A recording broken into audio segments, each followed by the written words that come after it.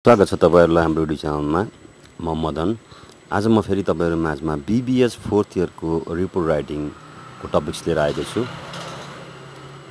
BBS fourth इयरको report राइटिङको topics अन्तर्गत मैले आज मार्केटिङको टपिक्स लिएर आएको छु। मलाई कमेन्ट गरेर मार्केटिङको पनि टपिक्समा केही कुराहरू भनिदिनुहोस् न अथवा सजेसन दिनुहोस् न भन्ने कुरा गर्नुभयो त्यस कारणले मैले यो मार्केटिङको टपिक्स लिएर आएको छु। मार्केटिङको टपिक्स अन्तर्गत मैले तपाईँहरूलाई a study on advertisement analysis of Lakshmi bakery and foods private लिमिटेडको बारेमा केही कुराहरू कसरी बनाउने भन्ने कुराहरूको बारेमा डिस्क्राइब गर्न गइरहेको छु। कृपया यो भिडियो सुरुदेखि अन्त्यसम्म अवश्य दिनुहोला। लाइक सेयर र सब्सक्राइब गर्न पनि नबिर्सिनुहोला। आउनु सुरु गरौँ अब। मैले यहाँहरूलाई अगाडि पनि भनेको छु बिबिएस फोर्थ इयरको रिपोर्ट राइटिङ अन्तर्गत चारवटा ग्रुप पर्छन्। चारवटा ग्रुप अन्तर्गत यो मार्केटिङ ग्रुप हो। मार्केटिङ ग्रुपमा हामीले कुनै पनि कम्पनीलाई अथवा कुनै पनि प्रडक्टलाई मार्केटमा कसरी मार्केटिङ गर्ने के को थ्रुबाट मार्केटिङ गर्ने र त्यसको डाटाहरू कसरी एनालाइसिस गर्ने भन्ने कुरा इन्क्लुड गर्नुपर्ने हुन्छ रिपोर्ट राइटिङमा। त्यस कारणले मैले यहाँ आज a study on advertisement analysis of Laxmi bakery and food private limited यो टाइटल पेज भयो यसलाई यसरी गर्नु होला। A project work report.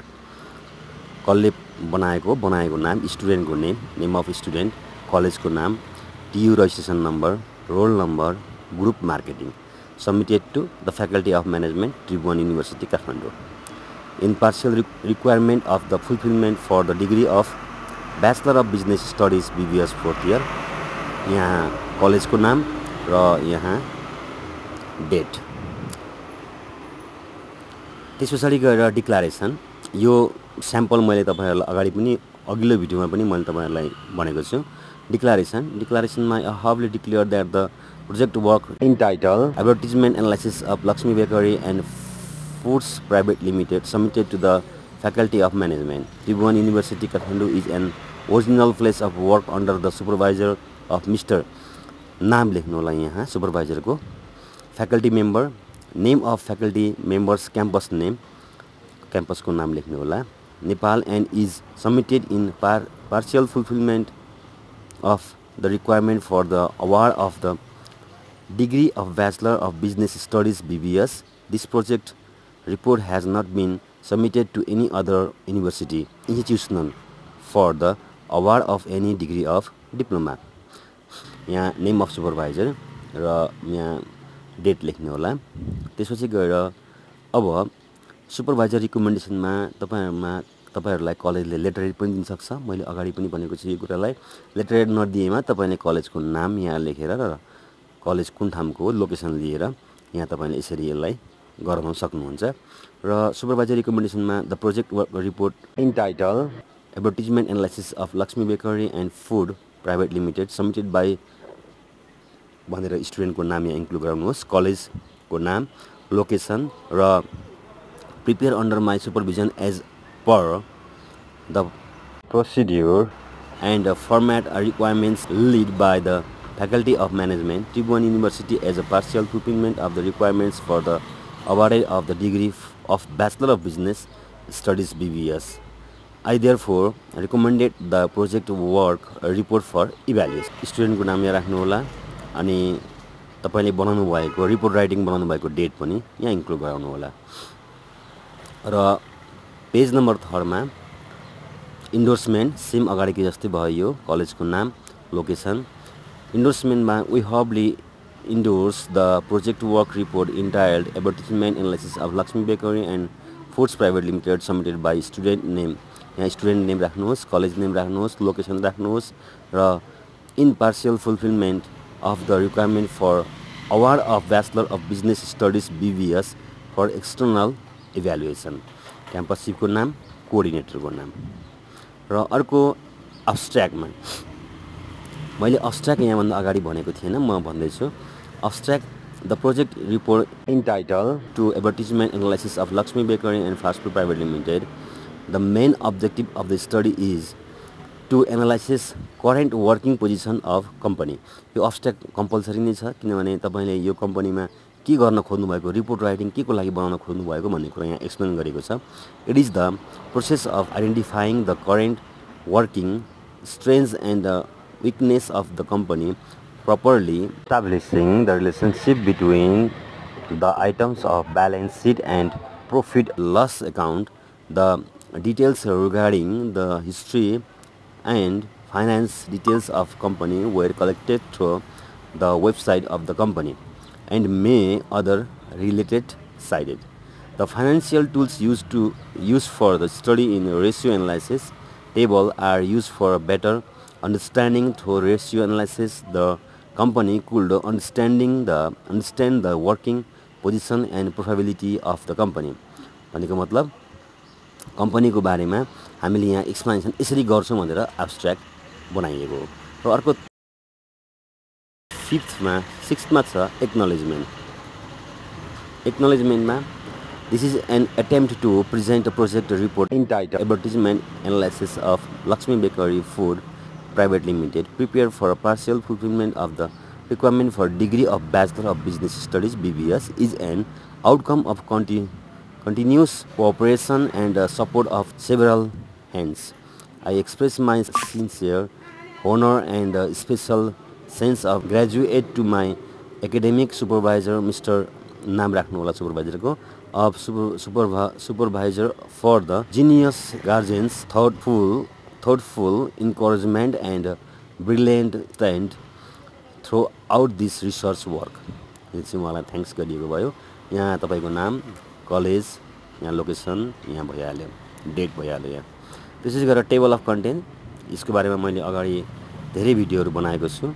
त्यसपछि list of table list of figure abbreviation abbreviation भन्नाले रिपोर्ट राइटिङ बनाउँदाखेरि प्रयोग गर्नुभएको सर्टकट नामहरू जस्तै एनको मतलब के हो? एन्ड भयो.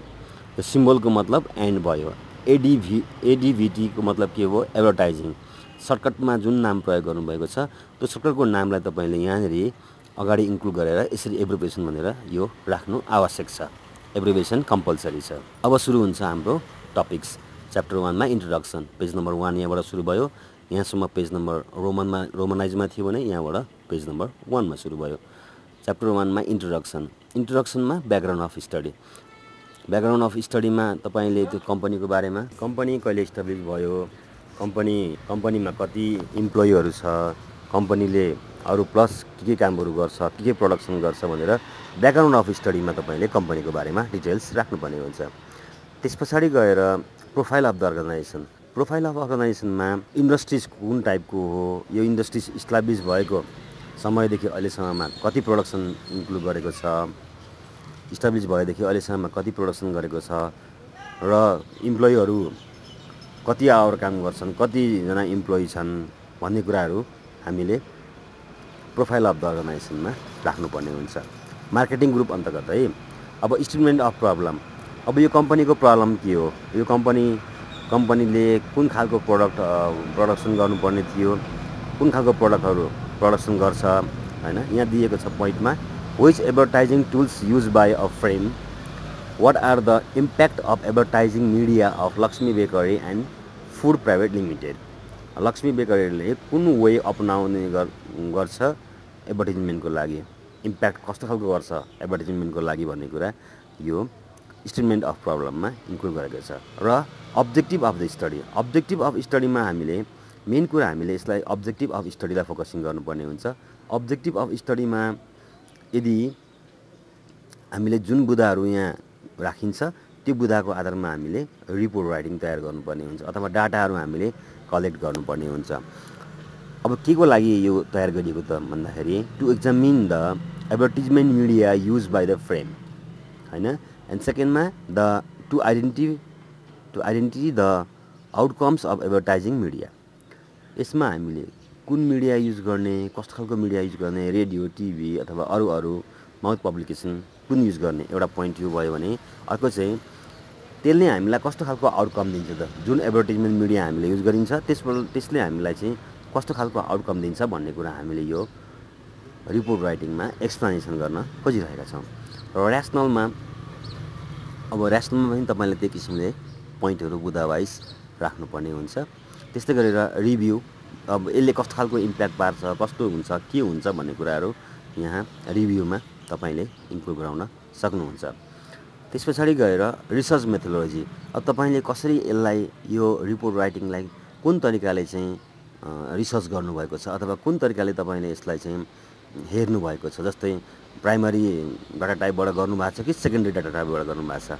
प्राइमरी डाटा टाइप भन्नाले तपाईँले आफैले गएर भिजिट गरेर त्यहाँको बारेमा डाटा कलेक्सन गर्नुभएको छ अथवा कुनै साइडमा गएर अथवा कसैको थ्रुबाट तपाईँले डाटा कलेक्सन गर्नुभएको छ।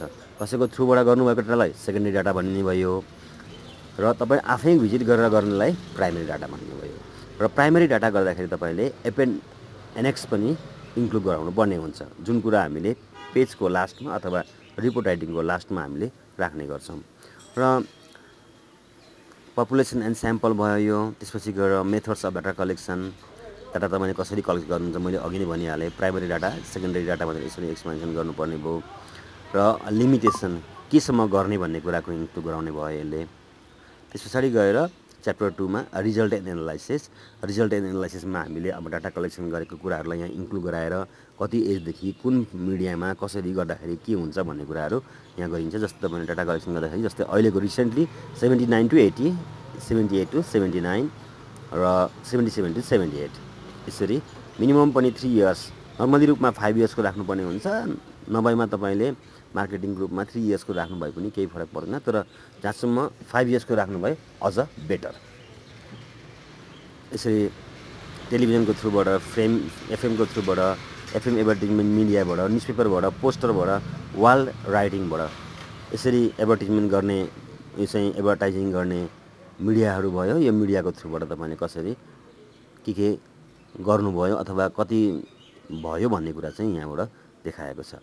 त्यस्तै गरेर अर्को छ टेबल नम्बर टूमा पनि सेम त्यही कुरा भयो र हामी जान्छौँ फिगरमा। फिगरमा जाँदाखेरि तपाईँको यहाँ तपाईँले टिभी रेडियोको यो चाहिँ कोलम बा कोलम चार्ट हो। यो कोलम चार्टलाई तपाईँले बनाउने आइडिया अगाडिको भिडियोमा पनि हेर्न सक्नुहुनेछ।